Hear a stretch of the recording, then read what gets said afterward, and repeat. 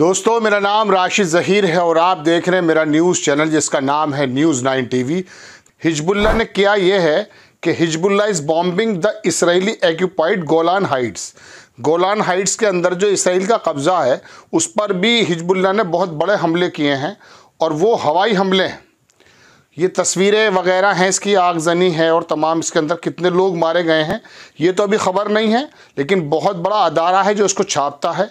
इसमें लिखा यह है कि इसराइल की जो बॉम्बिंग लेबनान में हुई थी, दो दिन पहले रात में हिजबुल्ला ने उसका बदला लेते हुए सेटलमेंट पर ग्राउंड भी हमला किया है और हवाई हमला भी किया है।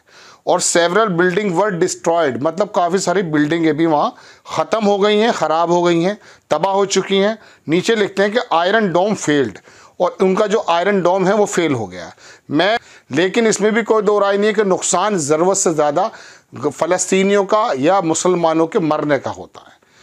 बीच बीच में हमास ये लोग आके वाकई ऐसा काम कर दिखाते हैं कि इसराइल को, अमेरिका को इस बात की उम्मीद नहीं थी कि हमारे भी हज़ारों सैनिक मारे जाएँगे। चलिए खैर आपको ये खबर मैंने बताई, दूसरी खबर देखेंगे आप। एक खबर ये है दोस्तों, ये जो तस्वीर है ना, ये director of the direct doctors without borders एक संस्था थी रिपोर्टर रिपोर्टर विदाउट बॉर्डर्स लेकिन ये जो संस्था ये डॉक्टर्स विदाउट बॉर्डर्स की है, इन्होंने कहा कि हेल्थ सिस्टम जो है गाज़ा के अंदर, उसके बारे में बात करने की ज़रूरत है। इसराइली मिलिट्री ने बहुत ज़्यादा dismantled hospital after the hospital मतलब सारे हॉस्पिटल को धीरे धीरे तबाह कर रहा है। What remain is silenced in face of the such carnage इनका कहना यह है कि attack on health care are attack on humanity जो बाकायदा हेल्थ केयर सिस्टम पर अटैक जो है, वो इंसानियत पर है। देखिए, सैनिक हो, हमास का बंदा हो, बच्चा हो या महिला, अगर अस्पताल के अंदर एडमिट हैं तो इंटरनेशनल लॉ ये कहता है कि आप उसकी वहाँ पर जो है, जो उसको ज़रूरी दवाएँ हैं, जो उसका ट्रीटमेंट है, वो होना चाहिए। लेकिन वो तो बच्चों और महिलाओं में कोई भी इम्तियाज़ नहीं रख रहा है। फिर दुनिया सबक ये सुनाती है कि हम बड़े महजब हैं। ये हमास के लोग तो दरअसल टेररिस्ट हैं। लेकिन यूएन तो इस बात को मना कर रहा है पुतिन तो इस बात को मना कर रहा है। यूएन की तरफ़ से बाकायदा बात ये निकल कर आई है कि हमास के लोग हथियार उठा सकते हैं अपनी ज़मीन पर का जो है बदला लेने के लिए, अपनी ज़मीन का जो है मुहाफिज बनने के लिए। फिर आप उनको टेररिस्ट कैसे कह सकते हैं? अभी बुश ने, सॉरी, बाइडन ने खुलेआम गाली बकी में दिखाऊँगा पुतिन को मतलब माँ बहन वाली गाली। और हालाँकि देखिए, ये महजब टाई कोट पहने लोग ये गाली गलोच का इस्तेमाल कर रहे हैं। हमास की तरफ़ से आपको खबर आई कभी कि उसने इराक में जाकर, पाकिस्तान में जाकर, हिंदुस्तान में जाकर कोई बमबारी की है? अपनी ज़मीन की अगर वो खिदमत कर रहे हैं, वो हिफाजत कर रहे हैं उन लोगों से तो उन्हें पूरी दुनिया के अंदर हमास बता दिया गया है। चलिए खैर। और ख़बर मैं आपको दिखाता हूँ, कुछ साइबर अटैक्स भी हुए हैं। यूनाइटेड स्टेट ने बताया कि जो उनकी फार्मेसीज़ हैं अक्रॉस द यूनाइटेड स्टेट उस पर साइबर अटैक्स हुए हैं कुछ। अब आने वाली लड़ाइयाँ भी कुछ इस प्रकार की हैं। एक खबर और इम्पोर्टेंट दिखाता हूँ आपको। यमन ने, यमन, हूती ने नहीं, यमन की सरकार ने। ये बिल्कुल ऑन द पेपर कह दिया है कि अब बहर अहमर से रेड सी से अमेरिका, इसराइल यूके और इससे संबंधित दूर दूर का कोई भी जहाज़ ऑफिशियली उसका यहाँ आना बार्ड है। वो आएगा नहीं। आएगा तो मारा जाएगा। ताज़ा खबर बताता हूँ मैं आपको। हूती के बिल्कुल ताज़ा हमले में ब्रिटिश का जो शिप है, वो हिट हुआ है। इसका नाम है Palau flagged. UK on islander is on इसकी तस्वीर भी है हालाँकि हमारे पास। चलिए मैं लगा देता हूँ, अगर अगर ये अगर ये लग जाती है। आपकी स्क्रीन पर है आइसलैंडर और मैं आपको बताऊँ, परसों तरसों मैंने आपको खबर बताई थी कि जो इंग्लैंड का एक जहाज़ डुबा दिया गया था, उसको खींच करके लेकर जा रहे हैं। उनकी इजाज़त मांगी हुई थी इससे उन्होंने कि हम इसको ले जाने का उसका मलबा जो है, डूबा जितना भी था वो, वहाँ एक जबूती करके एक अफ्रीकी वो है, वहाँ पर वो लेकर गए, खींच करके। तो उन्होंने इजाज़त भी दे दी कि हमने हिट कर दिया था आप ले जाइए इसको। फ़िलहाल जो है ये मैंने आपको यमन की तरफ़ से बताई, एक ताज़ा हमला है और ताज़ी उन्होंने एक बाकायदा ऑफिशियल स्टेटमेंट दिया है कि इस, इन मुल्कों से संबंधित कोई भी जहाज़ यहाँ गुजरेगा नहीं। एक तस्वीर में आपको वीडियो दिखाना चाहता था। ये जो है ना लड़के, ये सोलह सत्रह साल के लड़के हैं। और इसको अमेरिका बाकायदा यूक्रेन के बच्चे हैं, ये इनको तैयार कर रहा है रशिया से लड़ने के लिए। 18 साल के भी हुई ना, हुए नहीं हैं ये लोग, और इनको लड़ने के लिए भेजा जा रहा है, यूक्रेन की तरफ़ से। एक खबर देख लीजिए, मैं आपको एक बात इम्पोर्टेंट खबर ये भी बताना चाहता था। चाइना का, रशिया का और अमेरिका का ICJ international court of justice में जहाँ हियरिंग चल रही है 2022 का एक मसला है। वो मसला ये है कि जो कब्ज़ा किया हुआ है इसराइल ने, उस पर वो मुकदमा चल रहा है। ये मुकदमा वो नहीं है, मैं आपको कई बार परसों तरसों से बता चुका हूँ कि जो साउथ अफ्रीका जेनोसाइड का लेकर आया था। लेकिन इत्तफाक है ये कि डेट ऐसी पड़ गई है कि वहाँ पर इसराइल को जवाबदेही करनी पड़ रही है कि उसने वहाँ फ़लस्तीन की कौन कौन सी जगहों पे कब्ज़ा किया हुआ है। बावन मुल्क उसमें शामिल हैं। उनके तीस तीस मिनट के बयान दो दिन से रिकॉर्ड किए गए हैं। वहाँ दर्शकों, बात यह है कि हैग आईसीजे वहाँ पर एक अजीब व गरीब बदमजगी ये फैल गई कि रशिया का जो वहाँ पर नुमाइंदा था और इसराइल का, उन दोनों के बीच में बहुत ज़्यादा बदतमीज़ी और इसराइल ने साफ़ कहा रूसिया रशिया ने साफ़ कहा कि आप जो यूक्रेन की बात यहाँ लेकर आए आप ये बताइए, इसराइल में आप क्या कर रहे हैं, उस फ़लस्तीन में आप क्या कर रहे हैं? उन दोनों की बहुत ज़्यादा वहाँ, अब तो गाली गलौज भी हो रही हैं, जब बाइडन कर रहा है तो कोई भी कर सकता है। तो उन लोग, रशिया का जो नुमाइंदा, उसने बहुत ज़्यादा डांट का जो है, मैं कह सकता हूँ कि तरीक़ा इख्तियार किया और इसराइल के उस नुमाइंदे को जलील किया आईसीजे के अंदर। चाइना की खबर देख लीजिए चाइना ने का जो आईसीजे के अंदर बयान है Palestinian people have the right to armed struggle arm का मतलब आप अपना असले के साथ स्ट्रगल कर सकते हैं फलस्तीनियन को फ़लस्तीन को ये हक हासिल है कि वो अपना दिफा कर सकते हैं। Armed struggle is pursuit of the self determination is a not a terrorism बात यह है कि ये टेररिज्म नहीं कह सकते आप इसको। अगर वो अपना सेल्फ डिफेंस कर रहा है हथियारों के ज़रिए तो आप कैसे कह सकते हैं कि वो जो है कोई टेररिस्ट है? ये चाइना ने कहा आईसीजे के अंदर। और मैं ख़बर दिखाता हूँ आपको।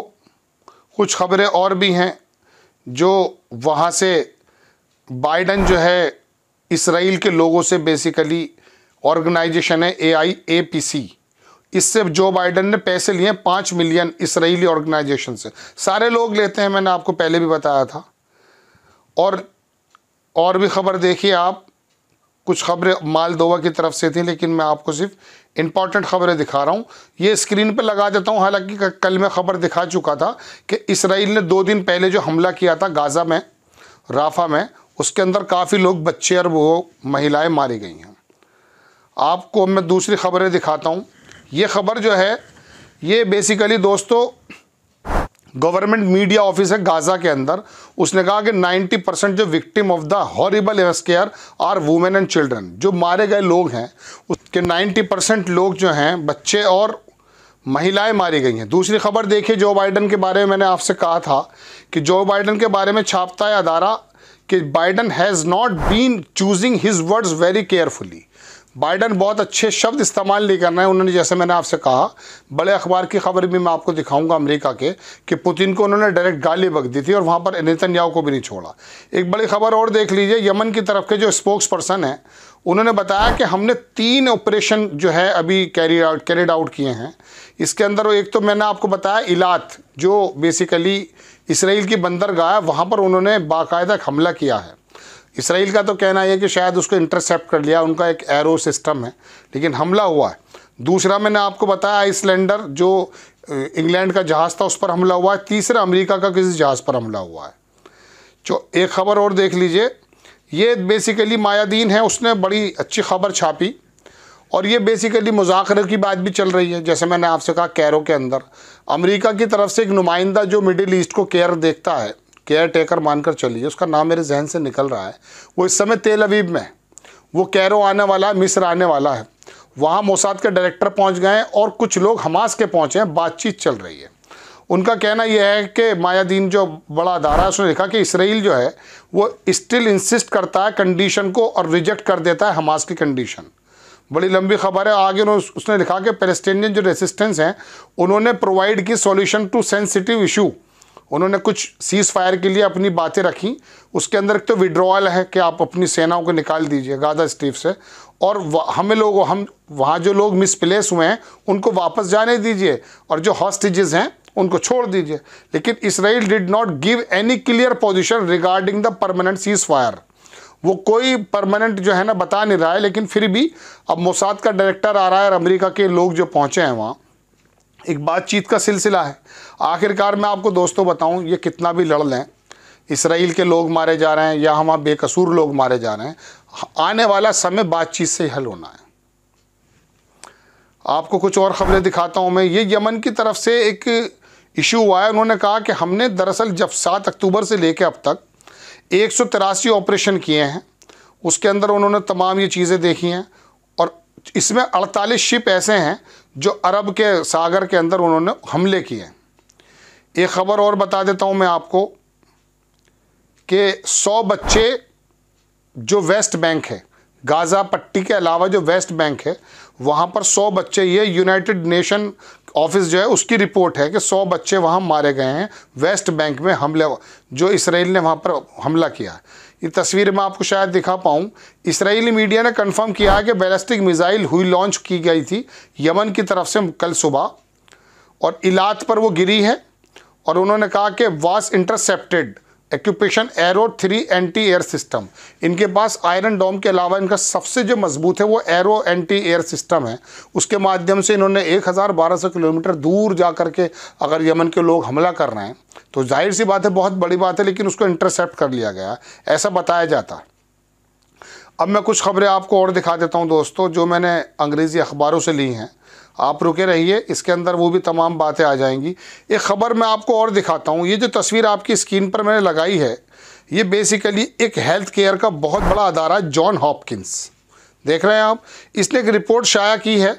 दुनिया के बड़े अखबारों ने उसको छापा है। इसने कहा कि अगर अभी सीज़ फायर हो जाता, अभी, जब आप मेरी बात सुन रहे हैं, या ये खबर जब तक आई है तब भी ग्यारह हज़ार पाँच सौ अस्सी लोग आपकी स्क्रीन पर लगा हुआ है और मर जाएँगे जो हॉस्पिटल्स के अंदर परमानेंट डिसेबल्ड हो चुके हैं या मौत के करीब हैं। यानी कि तीस हज़ार के करीब तो वैसे भी शहादतें हो चुकी हैं।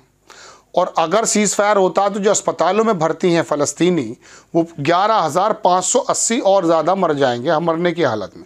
उसने कहा कि अगर छः महीने और चल जाएगी ना ये तो ये इसकी जो तादाद है वो छियासठ हज़ार सात सौ बीस मरने वालों की पहुँच जाएगी और जो ज़ख्मी हैं, जो मौत के करीब जा सकते हैं, उनकी तादाद पिचासी हज़ार सात सौ पचास।